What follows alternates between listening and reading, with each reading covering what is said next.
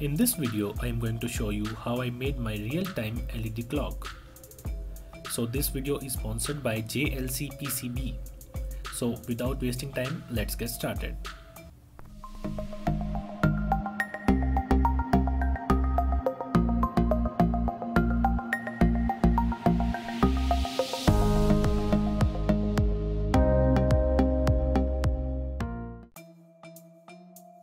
As I love lightning, so recently I bought an addressable LED strip for 330 Indian rupees.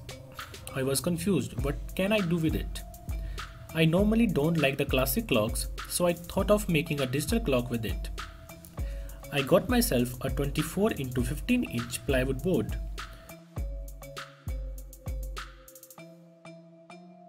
Then I make a rough lining for 4 digits of the clock. Firstly, I measure the length of the single LED strip and then creating lining on the boards.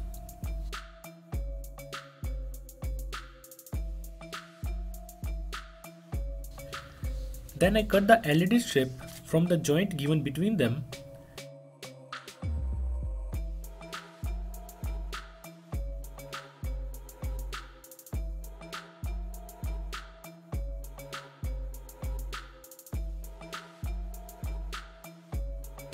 and we can see there there are three terminals 12 volts ground and the third one is used for data in and data out.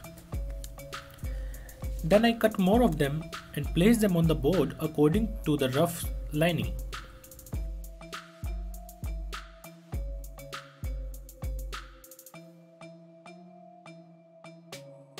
Then I peel off the glue guard from the bag and stick it on the board Make sure the data in and the data out pin are correctly aligned and pattern must be same as I am doing.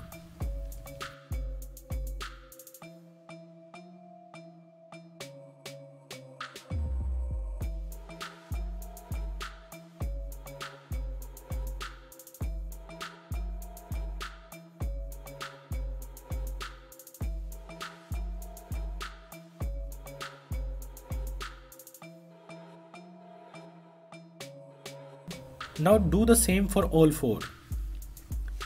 Then I took a cutting blade and removed the plastic from the terminals and also used a sharp screwdriver for removing the plastic. Then I did it for all the strips.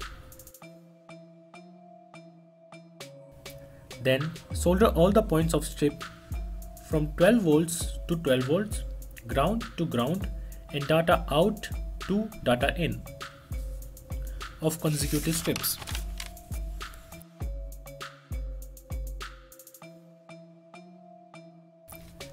Then for checking, I powered up the LED strip with a 12 volt charger and a raw code. I also added the rest of the LED strip on the back side of the board so that it looked more fancy Then I covered the front side of the board with a black chart paper so its connection remains safe for later work and cut the chart using cutter from the above each LED.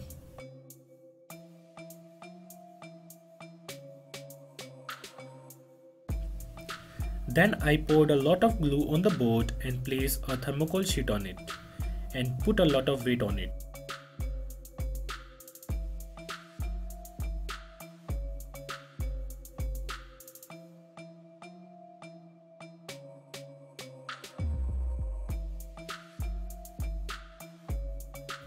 After it gets dry, I cut excess thermocol sheet and applied power supply to it and use a pencil and a scale to make linings on it. Then using a sharp cutter and a scale, I cut all the digits as you may have seen in a 7 segment display.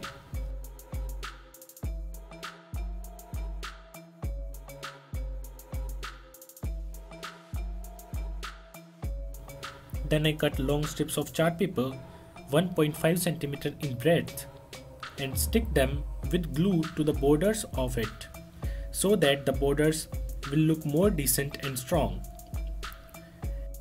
Then I pasted a trace paper which is basically a translucent on the clock and make sure no air bubble gets trapped between them. Then I fixed a breadboard behind the board and push an Arduino Nano behind it.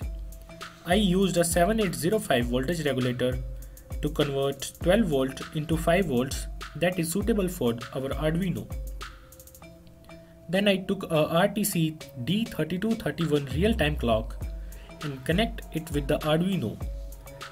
I connected VCC to 5 volts, ground to ground and SCL to A5 and SDA to A4 of the Arduino.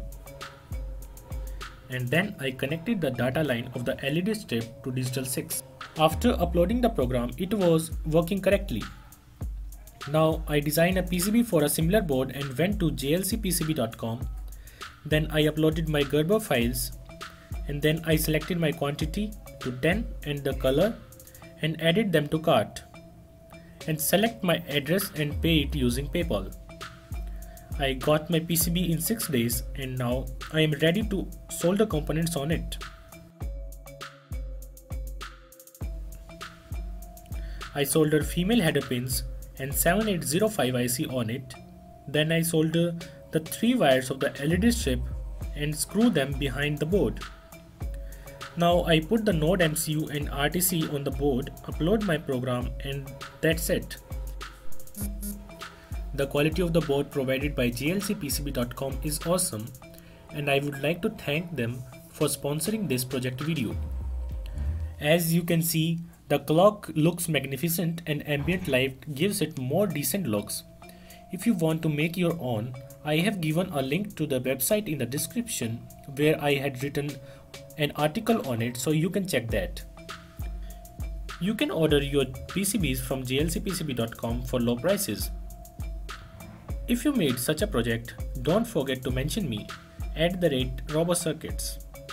So if you like this video, give it a thumbs up share with your friends and don't forget to subscribe the channel if you are new here. So thank you guys and have a nice day.